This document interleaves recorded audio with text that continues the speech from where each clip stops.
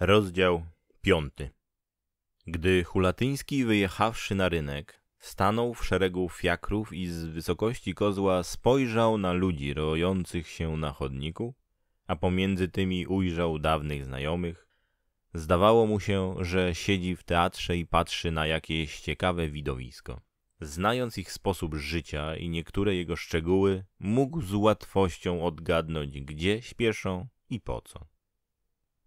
I tak na przykład wiedział dobrze, że stary hrabia Julian, który przechadzał się zwolna po trotuarze, prostując się ile możności i usiłując odmawiającemu posłuszeństwa nogi zmusić do elastycznego chodu, oczekuje tutaj drugorzędnej, naiwnej miejscowego teatru, idącej na próbę, aby jej wręczyć bukiecik fiołków.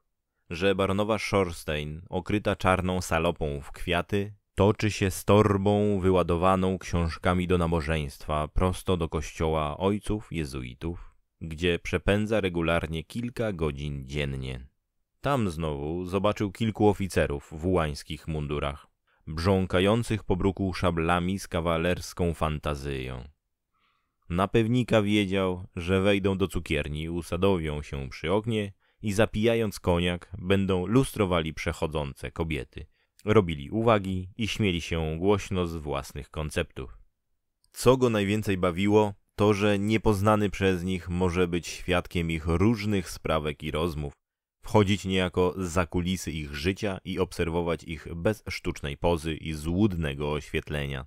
Ten świat elegancki, pozłacany, wyperfumowany, ukazywał mu się tutaj w całej nagości, nieraz brudnej i szkaradnej.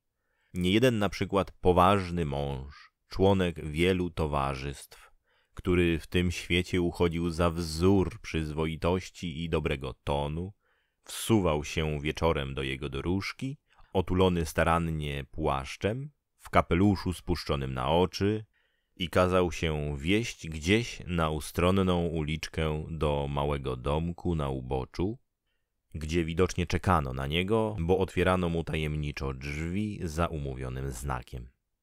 Niejedno małżeństwo przykładne i słodko uprzejme wobec ludzi, wracając we dwoje dróżką z jakiego wieczoru, kłóciło się w najgminniejszy sposób. Tyle tylko, że po francusku. W tej błogiej nadziei, że dróżkarz nie zrozumie. Dni schodziły mu na tych obserwacjach, jakby na czytaniu ciekawych romansów ustępami, w których z niecierpliwością nieraz oczekiwał dalszego ciągu. Największą jednak dla niego było przyjemnością, gdy wracał do domu ze znacznym zarobkiem, kiedy mógł wieczorem położyć Tomaszowej na stole osiem lub dziesięć reńskich jako owoc całodziennej pracy. Poczciwa kobieta nie miała słów na wyrażenie mu wdzięczności i ze łzami w oczach dziękowała mu za łaskę, jaką jej wyświadczał. Dzieci, widząc to, całowały go po rękach, jak swego dobrodzieja i tuliły się do niego. Tak go polubiły, że umyślnie nie kładły się wcześniej spać, aby doczekać się jego powrotu. Tem więcej, że nigdy nie wracał z próżnymi rękoma i co wieczór przywoził im to cukierki, to zabawkę jaką. Były to drobnostki niewielkiej wartości, ale dzieciom sprawiały niesłychaną uciechę, na co patrząc Hulatyński doznawał błogiego uczucia zadowolenia, że tak małymi środkami można sprawić tyle radości i szczęścia. Zaczął cenić wartość drobnych pieniędzy, gdy się przekonał, że one dawały mu częstokroć więcej przyjemności niż grube sumy wyrzucane dawniej na hulanki i szalone rozrywki. Każdego dnia wracał do domu do tych trojga istot, które go oczekiwały z upragnieniem, jakby do rodziny. Było mu w towarzystwie prostej, ale uczciwej kobiety i tych dwojga dziatek ciepło i miło. Kiedy po kolacji zabrała się Tomaszowa do mycia naczynia, odmawiając przytem półgłosem pacierze, a on z dziećmi, usunąwszy się w ciemny kąt izby, siedział gaworząc, opowiadając im różne historyjki lub słuchając ich szczebiotania, czuł się tak szczęśliwym w tym małym świadku, do którego mimowoli los go wepchnął, że nie mieniłby się na dawne życie. Z każdym dniem nabierał więcej zamiłowania do rodzinnego życia. Dotąd dom był dla niego tylko wypoczynkiem po hulankach, Ozdobnie umeblowane pokoje nie miały mocy zatrzymać go na dłużej.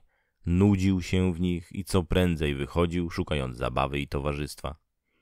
Teraz zaś, choć mieszkał w skromnej, bielonej izbie z drewnianymi sprzętami, z przyjemnością myślał o powrocie do domu, bo w tym domku czekało go to, czego nie miał w wykwintnych salonach swoich serdecznego ciepła. Sam nie wiedział, jak i kiedy wciągnął się w ten nowy tryb życia. I tak się do niego przyzwyczaił, że prawie musiał sobie przypominać, iż niegdyś, niedawno temu, żył w otoczeniu innym, w warunkach całkiem odmiennych. Przeszłość jego świetna, hulaszcza, wydawała mu się snem prawie. Prędko zapomniał o tym świecie, który także o nim prędko zapomniał. Nieraz woził dawnych znajomych. Pilnie nadsłuchiwał, czy też nie mówili czego o nim, ale nie mógł się tego doczekać. Rozmawiali o rozmaitych drobnych wypadkach tego świata, w którym żyli, ale o nim nigdy ani słowa. Może w samym początku mówiono wiele o nim, o jego niespodziewanym i tajemniczym zniknięciu. Był chwilowo bohaterem dnia, ale potem nowe wypadki i wrażenia zatarły go w pamięci ludzkiej. Inne postacie wystąpiły na widownię, a o nim zapomniano jako umarłym. Raz tylko wioząc dwóch jakichś elegantów, gdy przejeżdżał z nimi koło dawnego swego pomieszczenia, usłyszał, jak jeden z nich odezwał się. Patrz, tu mieszkał ten osławiony Hulatyński. Oto w tych czterech oknach na pierwszym piętrze. Hulatyńskiemu krew uderzyła do głowy, gdy usłyszał własne wymówione nazwisko. Głos mówiącego nie był mu obcy, ale na razie nie mógł sobie przypomnieć kto to, a obracać się nie chciał, żeby się nie zdradzić. I gdzież się on teraz obraca? Dał się słyszeć głos drugi, pełniejszy, świeży. A to go wie. Może gdzie w Paryżu został markierem przy bilardzie, jeśli sobie w łeb nie palnął, bo nic innego nie pozostało mu do zrobienia po owym haniebnym czynie, którego się dopuścił. Cóż on takiego zrobił? Co? Nadużył naszego zaufania i wszystkich nas w pole wyprowadził. Bo żył jak milioner i wszyscy traktowaliśmy go jak milionera. Aż tu po jego zniknięciu okazało się, że miał zaledwie głupie sto kilkadziesiąt tysięcy, które w kilka lat przeszastał. Pomyśl, co to za kompromitacja była dla mnie, który go zrekomendowałem w najlepszych domach, wprowadziłem do klubu. Hrabina Aurora do dziś dnia zapomnieć mi nie może, że flirtowała z nim parę miesięcy. Nawet coś podobno było między nimi.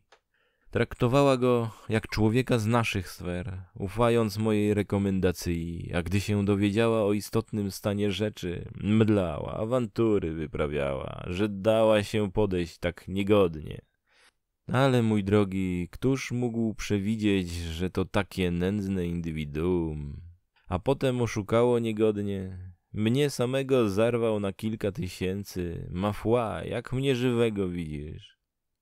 Hulatyński nie mógł już dłużej wytrzymać i obrócił się, aby zobaczyć, co to za człowiek, który takie bezecne brednie i oszczerstwa na niego wygaduje. Zobaczywszy, zatrząsł się z oburzenia, gdyż w mówiącym poznał majora Rąbigoszewskiego, znanego pieczeniarza i wyzyskiwacza młodych ludzi, którego poufale papkinem, papciem nazywano. Czy był kiedy majorem i w jakim wojsku, tego nikt dokładnie, a nawet on sam nie mógł powiedzieć. Ci, którzy go lepiej znali, utrzymywali, że tytuł ten dostał mu się w spuściźnie po jakiejś prawdziwej majorowej, na której Wikcie żył przez czas jakiś, jak powiadano. Awansowano go tedy żartobliwie na porucznika kapitana, wreszcie majora i ten tytuł pozostawiono mu na własność. Stanowiska nie miał żadnego, dochodów żadnych, ani zajęcia, Mimo to żył i wcale nieźle, wieszając się u klamki ludzi, bogatych utracjuszów, którzy się nie rachowali z groszem i którym się wysługiwał.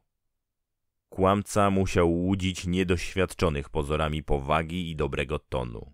I dopiero po bliższym poznaniu, szczególnie w interesach pieniężnych, odsłaniała się nikczemność jego charakteru. Hulatyński miał nieraz sposobność poznać go z tej strony gardził lichym człowiekiem, ale się nim posługiwał, bawiąc się jego bufonadą, konceptami, anegdotkami i pozwalał się za to wyzyskiwać, a raczej sam hojnie opłacał jego przysługi. I teraz ten człowiek, którego on żywił i utrzymywał, śmiał o nim rozsiewać oszczerstwa, potępiać go za dobrodziejstwa, jakich od niego doznawał. W pierwszej chwili tak go to oburzyło, że miał ochotę wysmagać go batem za bezecne kłamstwa. Na szczęście w porę przypomniał sobie, że tem zdradziłby swoje incognito, więc pohamował oburzenie i zacisnął usta. Oblał go tylko z wysokości kozła spojrzeniem, pełnem pogardy, którego jednak Rąbigoszewski wcale nie zauważył, zajęty rozmową z towarzyszem. Towarzysz ten wyglądał na przybyłego niedawno z prowincji, z którego twarzy życie wiejskie nie zdołało jeszcze zetrzeć świeżego rumieńca młodości, a pełne kształty ciała, zdrowe i jędrne, z trudnością mieściły się w opiętym ubraniu ostatniej mody. Ruchy jego były również twarde, niezręczne, nie miały jeszcze owej giętkości, jaką nadaje częste bywanie w salonach. Hulatyński umiał to osądzić na pierwszy rzut oka, bo wiele podobnych egzemplarzy przesuwało mu się przed oczyma. On sam niegdyś przechodził taki nowicjat, nim się wyrobił i oszlifował. I do niego tak samo przylepił się wtedy major. I żyjąc jego kosztem, odgrywał przy nim rolę mentora, przyjaciela i doradcy. To podobieństwo położenia usposobiło Hulatyńskiego życzliwie dla nieznajomego młodzieńca. Tem więcej, że jego powierzchowność była nadzwyczaj sympatyczną i ujmującą. Był to człowiek w pełni sił i zdrowia, kolosalnej budowy, a wyraz twarzy miał jeszcze prawie dziecinny. Oczy jego były pełne życia i ognia.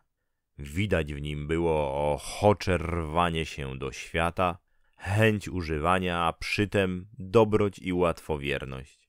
To wszystko można było bez trudności wyczytać na jego rumianej twarzy na której cała dusza i usposobienie wypisało się z młodzieńczą szczerością.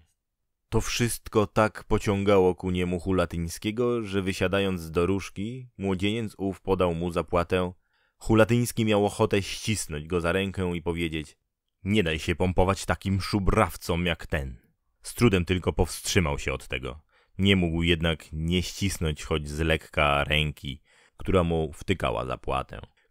Zapłata była zbyt hojna, jak za krótką jazdę, bo dał mu dwa guldeny. Coś tak jakoś zaczyna jak ja, powiedział sobie Hulatyński, oglądając pieniądze. Żeby tylko koniec jego był lepszy. Korciło go to, że Rąbigoszewski przyczepił się tak do nieznajomego i będzie niedoświadczonego ssał bez litości. Pod tym względem znał majora. Niedługo miał nową sposobność przekonania się, że major był jeszcze gorszym niż mniemał. Mianowicie, gdy go spotkał raz wieczorem idącego ręka w rękę z korbutem, mężem jednej piękności, której niegdyś nadskakiwał. Dwóch tych ludzi idących razem w takiej zażyłości z sobą dało mu wiele do myślenia, gdyż major zawsze przed nim udawał, że nie zna wcale Korbuta, bo jak mówił, czuje do niego wstręt niewytłumaczony, a swoją drogą wystawiał go przed Hulatyńskim jako groźnego tyrana, pastwiącego się nad żoną, którą nazywał zawsze ze współczuciem ofiarą nieszczęśliwą. Jak sobie przypomniał Hulatyński, on to pierwszy zwrócił na nią uwagę, i obudził litość w jego sercu. On także doniósł jej o sympatii, jaką ona uczuła dla niego od pierwszego poznania. Ułatwił mu następnie widywanie się z nią, a zaradem ostrzegał przed mężem, straszył niesłychaną jego zazdrością. Kombinując to wszystko, Hulatyński przyszedł do przekonania, że był ofiarą niecnej zmowy, że Rąbi Goszewski, Korbut i jego żona to była banda, która zręcznie odgrywała swoje role, aby go złapać i wyzyskać. Podejrzenia jego wzmocniły się jeszcze bardziej, gdy jakiś czas potem zobaczył tę szalbierską trójkę jadącą razem w zamkniętym powozie. Przejechali tak prędko, że zaledwie mignęli mu przed oczyma – Miał jednak czas pochwycić wyraz ich twarzy. Zdawali się być czymś mocno zajęci i ożywieni, jakby zmawiali się na coś.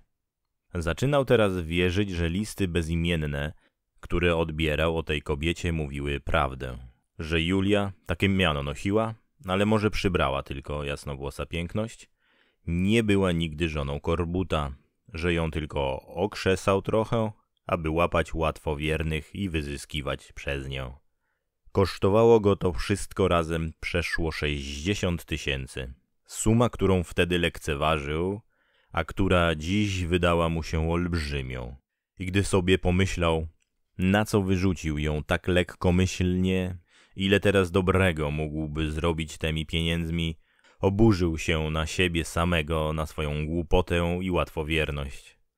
Niczego tak nie pragnął jak możności, żeby tych ludzi, którzy go w tak niecny sposób podeszli i wyzyskali, ukarać za to. Ale gniew jego był bezsilny. Bo i cóż mógł poradzić biedny doróżkarz tej bandzie ludzi przewrotnych, mających na swoje usługi bezczelny spryt i pieniądze?